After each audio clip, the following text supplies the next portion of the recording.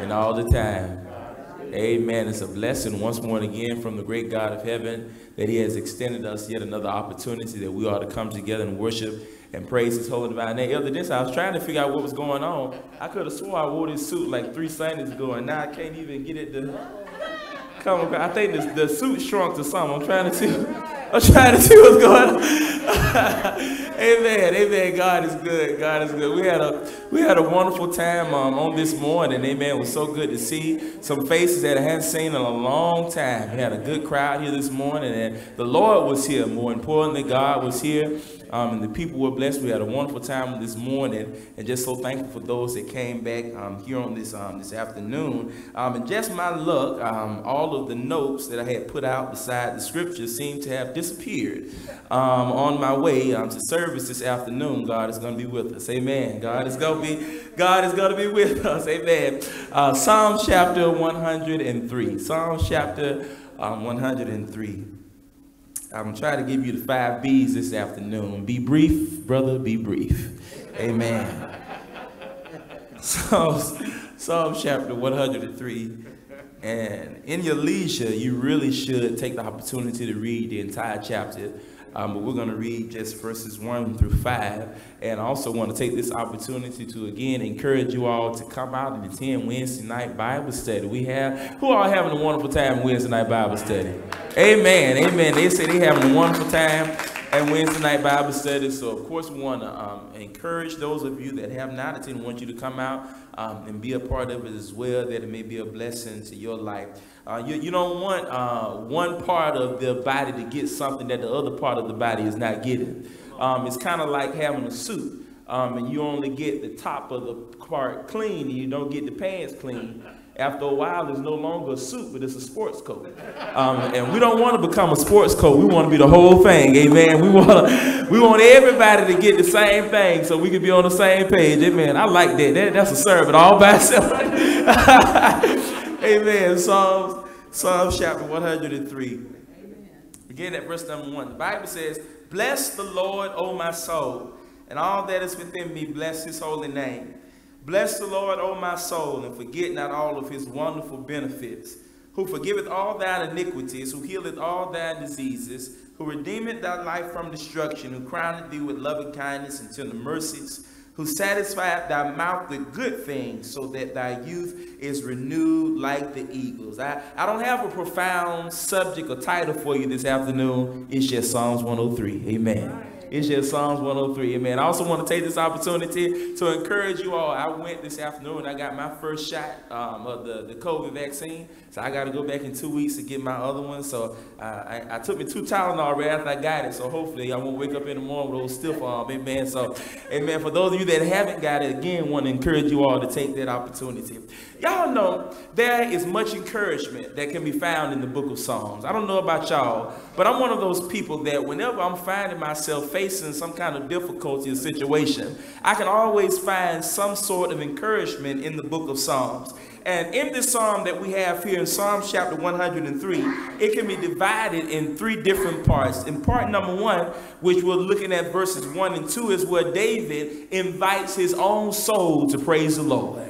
David didn't have anybody. They didn't have to invite him. David invited himself. He invited his own soul to praise the Lord. Right. And then in verses 3 through 19, David magnifies the benefits that we receive from God. And then in verses 20 through 22, David called on the abode of heaven to join him in praising the Lord. So David, we see him as the type of individual. He wasn't just interested in praising God by himself, but he wanted all of those that were in some type of relation to him to join join in with him as he blessed the name of the Lord because he recognized what kind of benefits he received because he was a child of God. So he wanted others to be recipient of those things as well. Now, as you will see in this psalm, it contains some of the most affectionate words and sentiments that one can say in praise to God. Even in verses 1 and 2, it says, A psalm of David Bless the Lord, O my soul, and all that is within me, bless his holy name. Bless the Lord, O my soul, and forget not all of his wonderful benefits. Amen. Now, here we see David is calling upon his entire being to praise the Lord. He wants to make sure that he is fully focused on praising God. David is trying to bring himself under subjection, and that's something that you got to do before you get to the house of God. That, that's not something that you decide on when you walk through the door. Before you walk out the doors of your house, you ought to already have it made up in your mind. I'm going with the intent, pur purpose of worshiping God Almighty. I'm not worried about this, I'm not worried about that. But my purpose and my intention is to magnify and lift up the name of the Lord God. And beloved, this is the same attitude that we got to have when we worship God. The Bible lets us know in John chapter 4 that God is a what?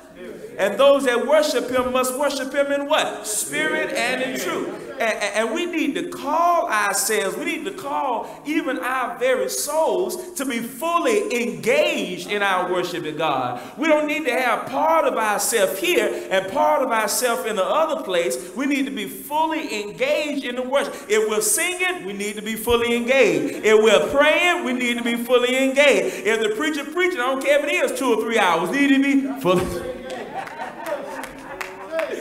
need to be fully engaged. When we sing praises to God, we need to think about the words that are being said. When prayers are being offered up to God, pay attention to what is being said. So in your private time, you can repeat the prayers, go back and pray for somebody else. During the preaching, make sure you're attentive and paying attention so that not just going through one ear and going out the other, but it may find some good soil that the seed of the word of God can take root, that it may bring forth increase even in your own life. Now, if, if, if, if we come to worship with a half-hearted attitude, then we have not called upon our entire being, and therefore we're not giving God our best. Now, when, when David says, Bless the Lord, O my soul, he is proclaiming his thankfulness for God's love as well as for God's mercy. And next we see, do not forget all of his benefits. I don't know about y'all, but right now I'm a recipient of the benefits of God. Just take a moment and say, you are a recipient of the benefits of God. You know, if somebody somewhere right now, in order for them to do that, they got to have a machine to help them to inhale and exhale. Somebody right now having trouble even doing that, but you did it without any assistance. You did it without any help. You are a recipient, even this moment, of the benefits of the Lord God Almighty. And now in the next verse, David is going to mention some benefits that come from God. And we need to pay attention to that. In verse number three, he says, Who forgives forgives all of our iniquities. That's a benefit. Who heals all of our diseases. That's a benefit. Who redeems your life from destruction. That's a benefit who crowns you with loving kindness and tender mercies. All of those things are benefits from the Lord. Tell somebody I got a good benefit package. You just don't know about it. Now, now one of the greatest benefits that we receive from God, the first thing that we mention is the forgiveness of sins. Because without that, you wouldn't even have the opportunity to have a relationship with God. Which means that we would never be able to make it into heaven had it not been that we serve a God that is able to forgive us of our sins. And there is also the healing of diseases, which doesn't just include physical diseases. But it also got to do with spiritual diseases. We read of an encounter in the man of the Bible who was a paralytic, who was lame, who laid by the way, and there were his friends who wanted to take him to the presence of Jesus. But because of the press, because of the crowd, they were not able to get through the door. So the Bible says they, you, you know, they had to be bold to cut a hole in somebody else's roof, cut a hole in the roof of somebody else's house to lower this man down just so he could get in the presence of Jesus. And Jesus knew this man. He knew the reason he was coming. Jesus saw them on top of the roof while they was cutting the hole in the roof. He knew the intention of the man. He knew the heart of the man. He knew the man needed a physical healing, but before he healed him physically, Jesus healed him spiritually. So it doesn't, he's not just a healer of physical diseases, but he is also a healer of spiritual diseases, which can be summed up in one three-letter word, which is what? Sin. And he gave us the cure for all of this by sending his own son to die for our sins. And everybody that is willing to embrace the gospel of Jesus Christ can and continue in the way of the Lord will have continually have the blessing of having the continual cleansing of our sins. by the blood of our Lord and Savior Jesus Christ. Now, verse number five tells us, who satisfies you with good so that your youth is renewed like eagles. Now, this Bible uses the eagle several times to make a point. Now, in the verse here, David is referring to, if you've ever heard of molting, you'll know that an eagle molts, and every year they get rid of their old feathers as they get ready to grow new ones. And so, in this sense, the children of Israel should become renewed and strengthened by the good that God brings into their life. That's why Isaiah said in Isaiah chapter 40 and verse number 31 But those that wait upon the Lord shall what? Renew. Come on, somebody. Those that wait upon the Lord shall renew their strength. They shall mount up with wings as eagles. After you have renewed your strength, you'll renew your strength like eagles. They'll run run and not get weary, and then they'll walk and they will not even faint. I don't know if you have ever noticed this in your life, but I have. When you get busy doing the work of the Lord, you begin to forget how bad things are in your life or what you did in yeah, the past, yeah, yeah. and you focus in on the task that is at hand, and it gives you renewed strength to keep on pressing on to keep on persevering. I'm reminded of what David says in following verses. In verses 6 through 9, he says, The Lord executes righteousness and justice for all who are oppressed. He made known his ways to Moses, his acts to the children of Israel. The Lord is merciful and gracious, slow to anger, and abounding in mercy. He will not always strive with us, nor will he keep his anger forever. Now, here, church, David points out another important characteristic about God, and that is that God does execute righteousness yes. and justice. A lot of people today only want to talk about, oh, God is so merciful. Oh, God is so gracious. But we don't want to talk about the fact that God is a just God and that his mercy and grace won't be around and available to us for all times. This is why David says that he will not always strive with us, nor will he keep his anger forever. So God is not just a God of mercy, and is not just a God of grace, he is also a God of wrath. He is a God of punishment, and this can clearly be seen throughout the Bible. There have been many who tried to test God's limitation, and when they did, they just found out pretty quick that God's limitations do not reach out to infinity, and He will unleash His wrath even against His own people. Now, in our Old Testament lesson, we can see over and over again how God would bless somebody to become king but if that king didn't follow God's plan, God would bless somebody else to become king. And if they didn't do it, God will replace them. You know what? If you don't want to do what God wants you to do, guess what? He got somebody.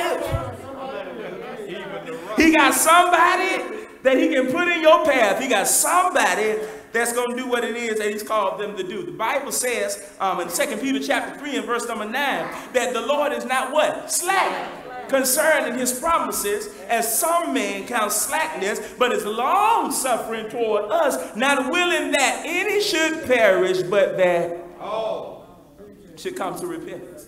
So as you can see, God is patient. And his patience, and he wants everybody, men, women, boys, and girls, to have the chance to be saved, but this time span won't last forever. Because Jesus will come back again someday, and then everybody will be judged. And if they are found outside of Christ or they have been unfaithful, then heaven shall not be their home. Yeah. Now, David finally points out his mercy.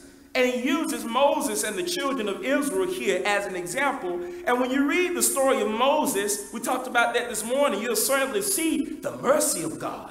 Because over and over again, these people rebelled against God. Over and over again, these people, and none of them deserved God's help, but yet and still, God continued to help them. But at the same time, He showed His wrath.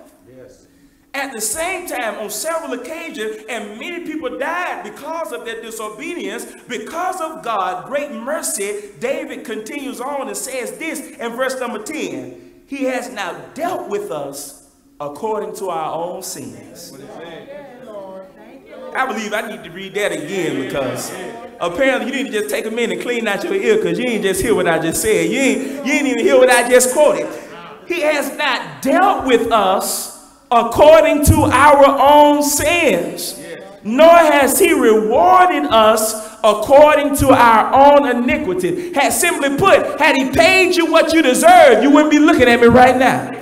Had he paid you what you deserve, you wouldn't be inhaling and exhaling his air right now. He would have been cut your air supply off. But because he does not get reward us according to what our sins and our iniquities deserve, now you and I have the opportunity when we find ourselves on the outskirts with God, when we find ourselves outside of the track, we have an opportunity that we can come to him say, Father, hey, I, you know, you, you, you were there. You saw me when I did it. You know, Lord, now I just need you to wash me up, make me clean, and give me another opportunity. Y'all already know that if God dealt with us according to our own sins, none of us would be alive today. Had God dealt with us according to our own sins, none of us would be able to do anything. And he says in verse number 11 through 13, he says, For as the heavens are high above the earth, so great is his mercy toward those that fear him. As far as the east is from the west, so far has he removed our transgressions from us. As a father pities his children, so the Lord pities those that fear him. Now, church, here David is just again stressing out how merciful God is to those that fear him and for those that show reverence towards him. Now, when Psalms show reverence towards Psalm 1, that usually means they will abide by their wishes, which means that God shows mercy to those that are seeking after him.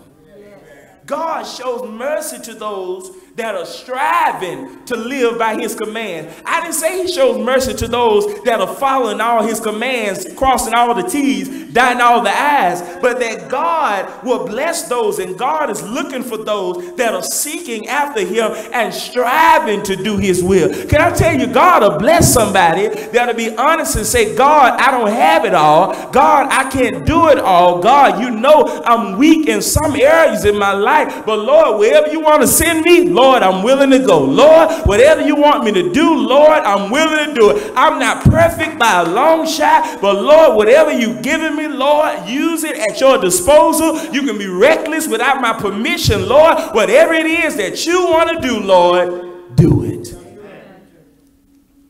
For whom the Lord loves, he chastens and scourges every son whom he receives.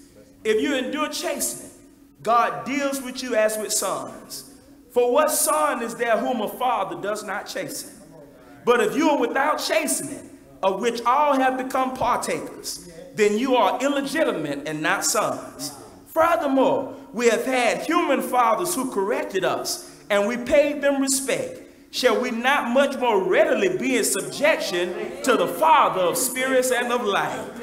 For they indeed for a few days chasing us as seemed best to them. Mama whooped you. you. Y'all get what I'm saying? He chasing us as it seemed best to them. But he for our profit, that we may be partakers of his holiness. Now no chastening seems to be joyful for the present, but painful. Nevertheless, afterward, it yields the peaceable fruit of righteousness to those who have been trained by it. There's a blessing even in God's word. God's word provides for us all of the things that we need. I love even every chapter of the book of Psalms. You can look through it as David responds to God, as David converses with God throughout the various trials of his life, throughout the various circumstances of his life. And if anything we could take away from the life of David, the struggles of David, David knew where to go to. When David found himself in trouble, when David found himself in situations, David knew exactly where to go to. He knew exactly how to handle his problem. And that is why, even though David had some of the biggest moral failures that you could ever call, the Bible still says, and David was a man after God's own heart. And, and you know, we love to talk about David today, brother Stars. Oh, David. Oh, you remember what David said? Oh, in the Psalm, oh, saving Psalm chapter 23. But you know, if David was alive today, we write a letter on him. You know, if David was alive today, we talk about him. Yo, you heard about David? You heard what he did to Uriah? You know he had Uriah put out there on the front line. You heard what he did with Bathsheba? You heard about this, you heard about that? But even after all of his moral, faith, all of the things that he had did, the Bible says that David was a man after God's own heart. And I love how David didn't wait you know, we quote the scripture often, you know, I was glad. I said this one, you know, I was glad when they said unto me, Come and let us go into the house of the Lord. He didn't say I was glad when I got there. I was glad when they said unto me, Let us go into the house of God. And, you know, that's the attitude that we got to have. Don't just get excited just because you've been invited. Don't just get excited because you got that. Man, before you even get here, man, I'm excited. Before I even get here, my mind is already set. I'm already ready for the worship experience because we got to get our mindset out of this. God is the performer and we are the audience. That ain't how it go. God is the audience. We are the ones that are performing. And as we offer up our worship to God, you may not be able to sing like Mahalia. You may not be able to sing like, uh, you know, Smokey Robinson or anybody, you know, in, or anybody like that. But when you sing unto Him, the Bible says that it comes up before Him as a sweet smelling, what it it's sweet smelling Savior. God gets honor when we worship Him, when we praise His name. And can I tell you, from the outside, somebody looking at you, they may be able to say, Ooh, that person is worshiping. But God knows what's really on your mind. God knows that even though your eyes are closed and even though you're swaying from side to side, God knows you want, okay, man, I got to get to Walmart by 3 o'clock because I know they got a certain amount of X on the shelf and I need to get there before them folk get there and get it. I wonder, I wonder, is the line going to be long at the Potter's house when I get out of service? I wonder, I wonder. I, oh, I wonder if, I, is Sheila going to be at work on tomorrow. I don't feel like he in her mouth. I don't feel like dealing with that. He already knows what's on your mind. He knows what's on our heart. God knows that sometimes you hear. Well, what what uh, what lady said? She said sometimes you hear, but your mind is out there. You what, what you know about it? You know, you, you, you, you hear, but your mind. that took some of y'all way back. So we're here, but my mind is somewhere else. And that ought not be the case when we come before the presence of God, when we come into the worship of God, we ought to bring our whole self, our whole heart, our whole mind, our whole soul, and our whole being. Put our all in so that we'll never be able to say, you know, I didn't get anything out of it. It just didn't do anything for me today. I, you know, I just don't know what was going on. It was just kind of a little off today. I just didn't get anything out of it. Did you bring anything to put in? I, I done just opened a bank account and I ain't, I put thirty dollars in there and I go up there the next day talking about I want to withdraw three thousand. Them folk gonna look at me, might call the police on you. You might man be looking at be looking at you crazy. Like man, you already know you, you. I know as well as you know you ain't got but thirty dollars in here, so you can't get no more than what you to put in. Same way it is when you can only get what you put in. So when you give your all when you sing your best, when you love your best, when you do your best, you'll never be able to say, I didn't get anything out of it because you have given your all to God and you recognize that your worship in and of itself, and my worship ain't got nothing to do with Brother Smith. It ain't got nothing to do with the name, but worship is a personal thing between the individual and God. That's why it don't do you no good to worry about how somebody else is doing, what somebody else is doing, because God is focused on you. And he's paying attention to where your mind is. He's paying attention to the intent of your heart. Psalms 103. he is a loving God. He is a kind God. And all of us, even right now, are living off of his mercy. We're living off of his goodness. We are living off of the benefits that he's given us. And you know, even on tomorrow, you're going to be dependent on his benefits. You're going to be dependent on him to wake you up in the morning. You're going to be dependent on him because there's going to be food in your refrigerator for you to get. You're going to be dependent on him because you're going to get in a vehicle that's going to crank up without issues. And you're going to go to your job and you're going to work. You're going to punch in. You're going to punch out. You're going to go back to a home the same way that you found it. You're going to watch your stories. You're going to eat. You're going to repeat. You, you know, all of that. Even though it seems simple. And even though it's your daily routine, something that you do out of normalcy, it's a benefit. Amen. Every foot that you put in front of the other is a benefit from the Lord. Every word that you utter out of your mouth is a benefit from the Lord. Because you know, if somebody right now got a mouth just like you, but a word won't come out of it. You know, if somebody somewhere right now just like you got two legs, but it won't take them anywhere. Somebody right now just like you got a mind, but they don't know who they are, don't know if they're going or they're coming. Benefits. So don't wait for God to give you a big fine gift wrapped up with a bow on top before you decide to thank him. Start thanking God for the little things that he has done in your life. For surely, if we just thank God for the little things that he's done, guess what, man? You, you wouldn't have enough time on this earth. What we said, we had 10,000 tongues.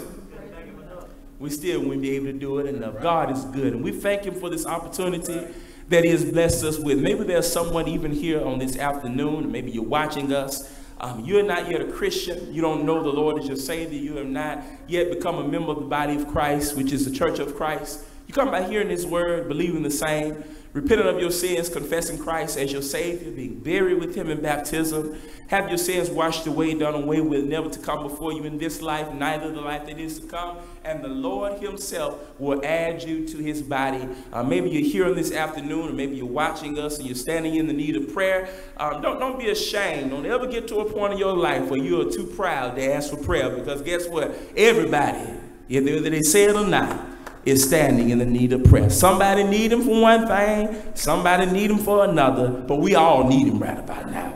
So if you're here this afternoon and you're subject to the invitation, maybe you need to come to a relationship with Christ, or maybe you're standing in the need of prayer, whatever it is, you have that opportunity now. Come to Jesus as together we stand and sing the song of invitation. Somebody prayed for me. Oh, they had me on their mind. Took a little time to